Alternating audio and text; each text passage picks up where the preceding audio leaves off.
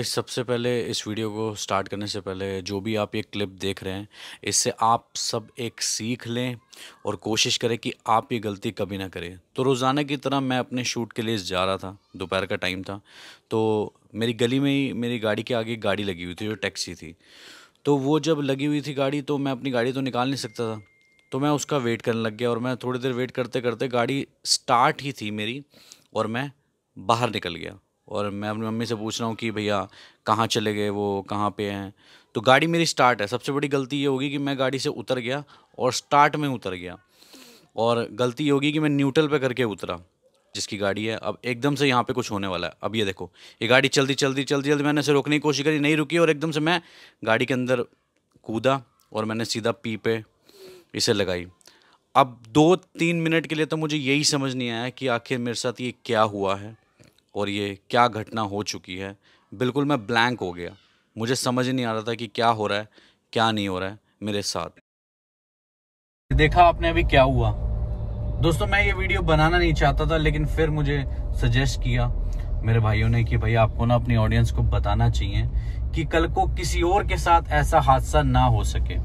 मेरे पास जो गाड़ी है, वो है ऑटोमेटिक आप देखते हो, इस टाइम मैं ड्राइव ही कर रहा हूँ उस गाड़ी को ऑटोमेटिक अब ऑटोमेटिक गाड़ी के क्या नुकसान हो सकते हैं, ये मुझे आज पता लगा है। आपने देखा कि सिर्फ़ कुछ सेकंड के अंदर क्या स्टोरी होगी? मैं गाड़ी से बाहर निकला और मेरी छोटी भतीजी by the grace of God और ऊपर वाले की रहमत से मम्मी भी आ गई थी। खैर, शुक्र है, उनको भी कुछ नहीं हुआ और बच्ची को भी कुछ नहीं हुआ।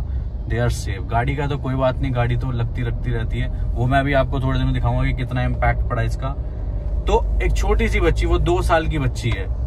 अब वो हमेशा मैं उसे जब भी घर से जाता हूँ तो राउंड कटवाता हूँ। तो आज बाई चांस मेरे आगे गाड़ी खड़ी हुई थी तो मैं देखने के लिए उतर गया कि वो भैया आए हैं, नहीं आए हैं उस गाड़ी को हटाने के लिए।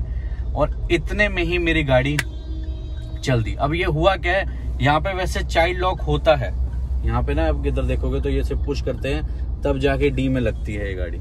अब बच्चे ने किस तरीके से उसे डी में कर दिया, ये तो मुझे भी नहीं समझ आ रहा, इतनी छोटी बच्ची ने। लेकिन गाड़ी डी में होते ही, अगर हैंड ब्रेक भी लगी होती ना दोस्तों तो हैंड ब्रेक पे भी ये गाड़ी चलती चलती। तो मैं आपसे गुजारिश करूँगा, अगर जिन किसी के पास भी ऑटोमेटिक गाड़ी है या कोई भी गाड़ी है ना तो कभी भी आप अगर बच्चों को साइड में बिठाते हो, छोटे बच्चों से, जो मुझसे गलती हुई है, मैं नहीं चाहता भाई किसी और के साथ वो गलती हो जाए। और इस वीडियो के माध्यम से मैं उसमें इतना ही बताना चाहता हूँ कि भाई, जो गलती मैंने करी, वो कभी आप मत करना, क्योंकि आपके घर में बच्चे होंगे, ठीक है छोटे छोटे जिनको आप राउंड कटवाते होंगे बाई चांस बंदे के दिमाग में नहीं रहता जैसे मेरे दिमाग में नहीं रहा कभी भी, क्योंकि मैं पहली बार तो नहीं पिछले एक साल से उन्हें राउंड कटवा रहा हूँ मैं। लेकिन मेरे कभी ध्यान में ऐसा जहन में रहा ही नहीं कि मैं गाड़ी को बंद करके जाना चाहिए मुझे या खैर, जो भी है ऊपर वाले ने बख्शा मुझे उसके लिए। बहुत बहुत थैंक यू है जी ऊपर वाले का। अब आप इस चीज़ का हमेशा से ख्याल रखो भाई, कि कभी भी आप जब किसी बच्चे को अपनी गाड़ी में बिठाते हो, अगर आप उस गाड़ी से उतरते हो तो उस गाड़ी को ऑफ़ करके जाओ।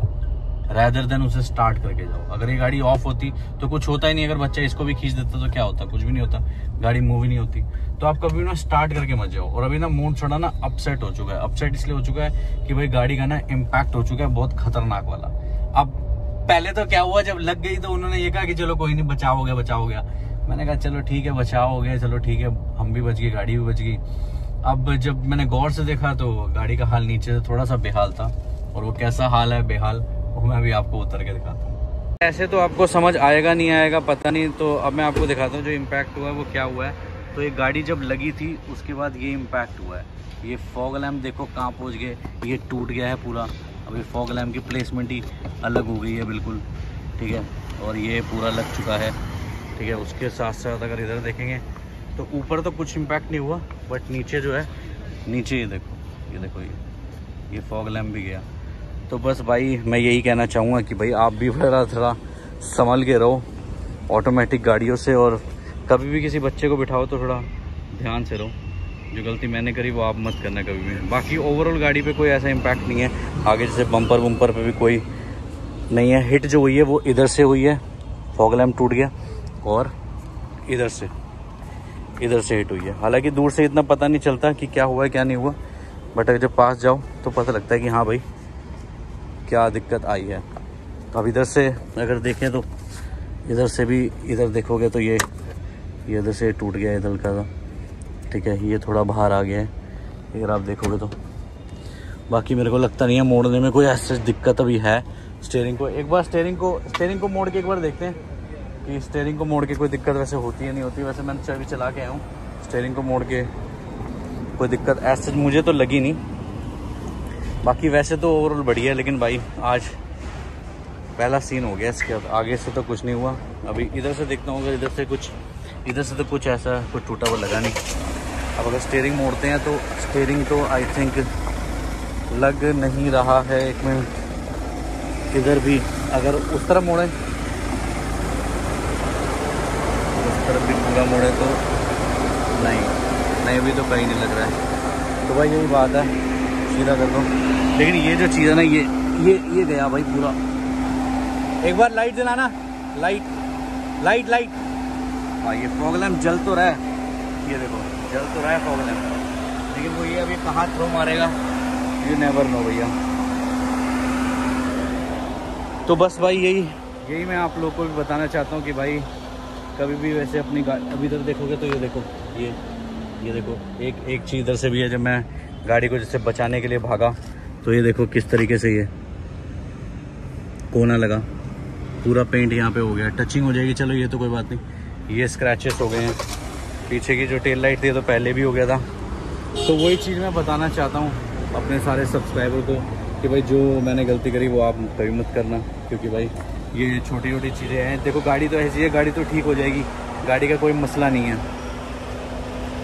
गाड़ी का तो कोई मसला नहीं है, गाड़ी तो ठीक हो जाएगी, लेकिन जो मुद्दा होता है, वो होता है जान का, कि भाई किसी को लग ना जाए, कुछ हो ना जाए, खुदा ना खास्ता, वो चीज़ इंपॉर्टेंट होती है।